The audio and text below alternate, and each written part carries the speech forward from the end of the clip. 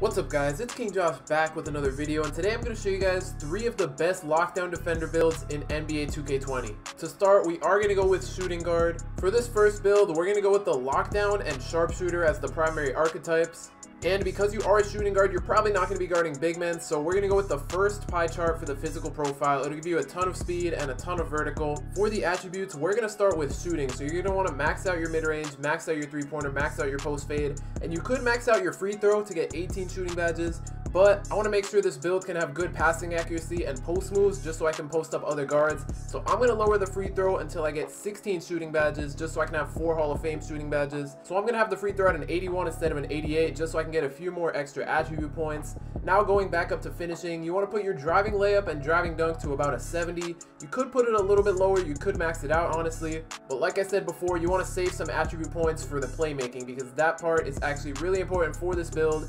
You want to have your passing accuracy maybe around 65. You could max it out, but that's kind of a waste of attribute points since you don't really need playmaking badges. And then when it comes to ball handling, this is honestly up to you. So this build is kind of like a Klay Thompson build, a catch and shoot build that can clamp up on defense. But if you want pro dribble moves, you want to put your ball handle to 70 for sure. Maybe even a little bit higher if you want to max out the wingspan later on.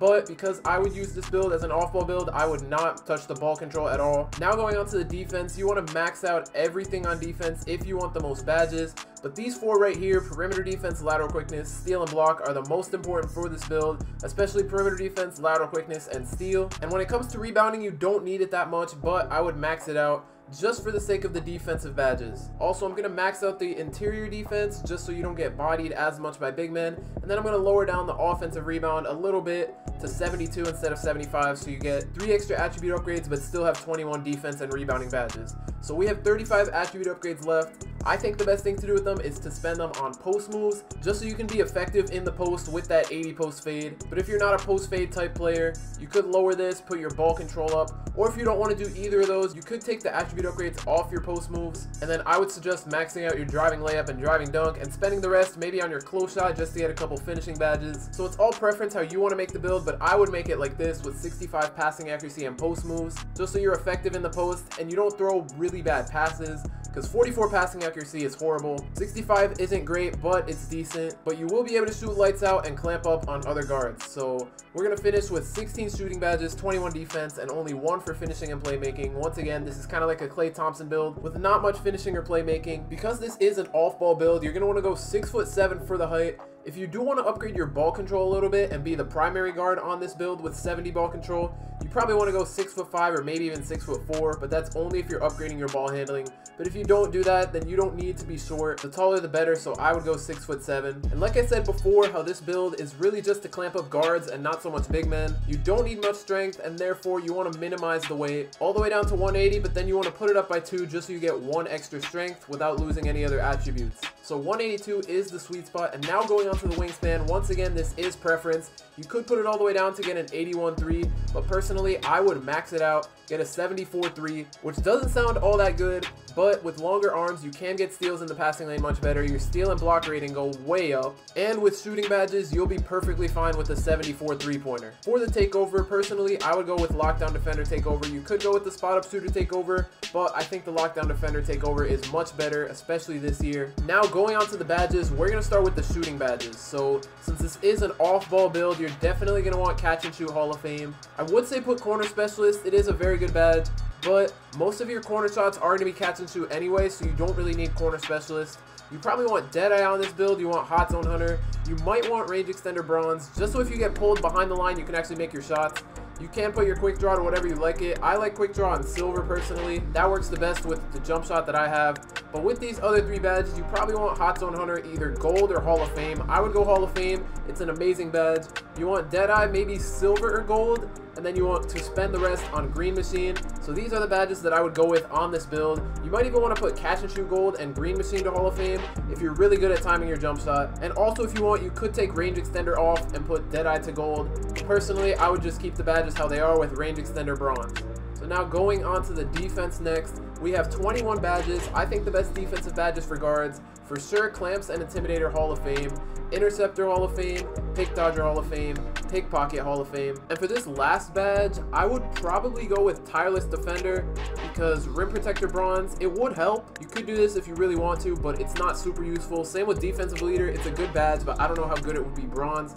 So I would probably use the bronze badge on Tireless Defender. Now for the one playmaking badge, I would probably go with Post Spin Technician just so you can bully guards in the post a little bit more. Or you could go with Unpluckable or Quick First Step if you like to do jab steps out of the triple threat. Or if you really want, you could go Needle Threader. This badge helps to not get the ball stolen in passing lanes as much. So I would either go with Needle Threader, Quick First Step, Post Spin Technician, or Unpluckable. Because this build will be playing off the ball, you probably don't need Unpluckable as much as the other ones. So I would go Post Spin Technician or Needle Threader. And last but not least, for the finishing badge, I would go with either Contact Finisher, Giant Slayer, or Slithery Finisher. Maybe even Pro Touch if you don't take contact layups, just so you can make your full bar layups. Next, we're going to get into the two other Lockdown Defender builds. So for these other two builds, you are going to want to go small forward. For this second build here, you want to go all the way to the bottom. We're going to go with a pure Lockdown Defender. And the last Lockdown Defender build was just to guard guards, not big men, but this one we'll be able to guard both. We are going to choose the bottom pie chart because you do get a lot of speed as well as 87 strength, which is insane for a player that fast.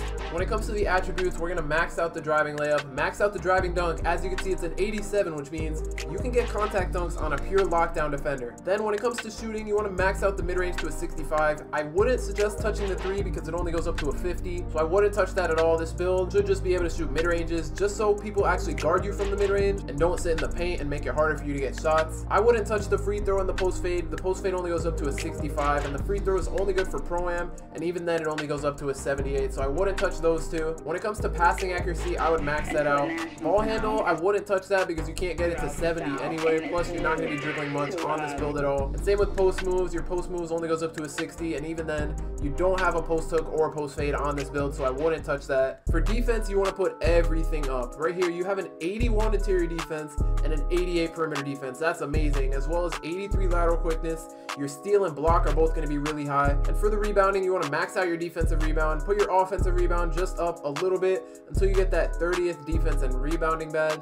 And the crazy thing about this build is it's pretty much complete right now, and we still have 104 extra attributes. So with those extra attributes, I would max out your finishing just to get more finishing badges because once again, this build can get contact dunks. So I would max out your close shot, max out your standing dunk, put the rest of the points to your post hook, and then lower your post hook just a little bit so you still have 15 finishing badges. And then the four extra points you can spend on whatever you want. If you plan to play Pro-Am on this build, I would spend it on the free throw, but if you just want to use this build for park, I would definitely put it on the offensive rebound just so you can get boards over big men because stretch bigs do not have rebound this high as a 78 and a 95. You are going to be able to get rebounds over stretch bigs, so you definitely want to upgrade that rebounding, especially because this will be a taller build. For the height, we are going to want to go 6 foot 8. You could go 6 foot 9 if you plan to grind this build to 99. If you do want to make this build 6 foot 9, you have to hit 96 overall for 84 driving dunk, which is the lowest you need for contact dunks, and then you need to hit 97 for the elite contact dunks. So I'm to go 6 foot 8 just so you have contact dunks right off the bat. And when it comes to the weight, you want to put the weight all the way up. As you can see, you're to get a 95 strength as well as a 91 interior defense. So your interior defense is to be even better than your perimeter defense at 6 foot 8. And you can get contact dunks and your speed is a 79, which is insane. When it comes to the wingspan, for sure you're want to max it out. You can't shoot anyway and it only drops your mid-range by 2, but then your block goes up to a 95, your steal goes up to an 88. For the takeover, you definitely want to go lockdown defender. Glass cleaner takeover is not that useful for this build. Your rebounding is high, but you're only 6 foot 8. And as you can see, we're compared to Shawn Marion, Giannis Antetokounmpo, and Paul George. So now we're going to test the build. I'm going to show you guys the badges that you want to choose on this build. For the finishing badges, I would go contact finisher gold, fancy footwork gold, giant slayer gold, slithery finisher gold, and with the last three badges, I would go back down punisher gold. This will help you bodyguards a lot, especially because you do have a 95 strength. Also, if you don't do hop steps much in the paint, I would take fancy footwork off and put pro touch to gold, but personally, I do a lot of hop steps. That's my play style, so I would go fancy footwork gold. Now for the one shooting badge, I would either go catch and shoot or quick draw bronze. Those are probably the best for this build. You might want to even go hot zone hunter if you can get hot zones from the mid range. That would be good. So I would either go with hot zone hunter bronze, quick draw bronze, or catch and shoot bronze. I would probably go quick draw bronze just so you can get your shot off much faster because if you don't have quick draw at all you're going to shoot the ball when you're open and by the time you release it you're going to be contested and this build definitely cannot hit contested shots so I would go quick draw bronze with that When it comes to the one playmaking badge, you probably want to go post spin technician. Once again, it'll help you bodyguards a lot better. So this is the one badge I would go with for playmaking. You could go with unpluckable so you don't get ripped as much in the post, but I think post spin technician is a little bit better. You could also go quick first step if you want. This build is a little bit faster. So even though the ball control isn't high, your jab steps and your first step out of the triple threat will be quick with this badge.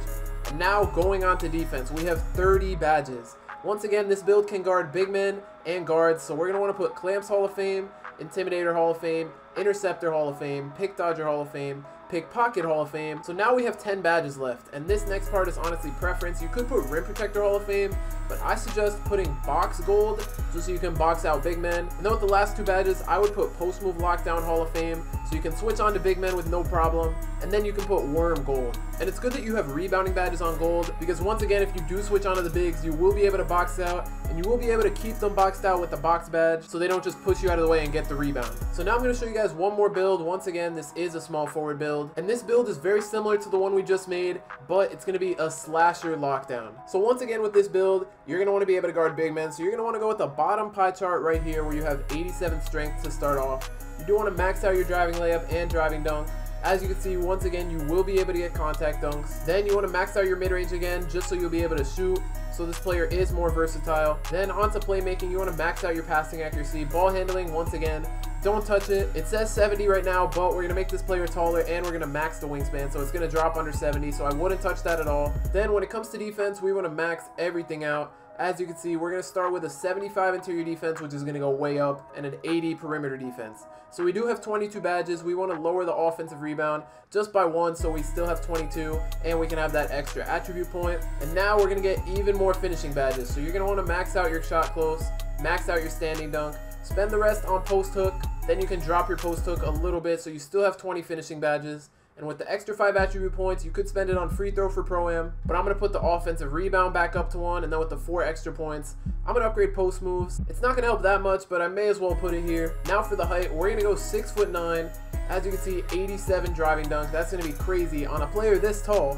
And for the weight, once again, we are going to max it out. As you can see, we're going to have 95 strength again, 86 interior defense, and 74 perimeter defense. Now with the wingspan, we are going to max it out, and we're going to have a 76 steal and an 89 block. And the best thing about this build is it has slasher takeover. So you can choose between lock and slasher. I think lockdown defender is the better takeover. But low-key, I would go slasher takeover on this build, especially if you're playing park and not pro-am because in the park, on 3v3 or 2v2, slasher takeover is very hard to stop. It's easier to stop in pro-am, so I would put lock if you plan on playing pro-am on this build. And although lock might be better, I'm going to go with slasher takeover. So the difference between this player and the last player is that on this player, you can get Hall of Fame finishing badges, and the finishing is a little bit better as well. So the defense is a little bit worse, but in terms of badges, this is for sure the better build. So you're going to want to go Contact Finisher Hall of Fame for sure. I would go Fancy Footwork Hall of Fame personally, then Giant Slayer Hall of Fame. Then we're going to go with Slithery Finisher Hall of Fame, and for the last badge, I'm going to go back down Punisher Hall of Fame so I can body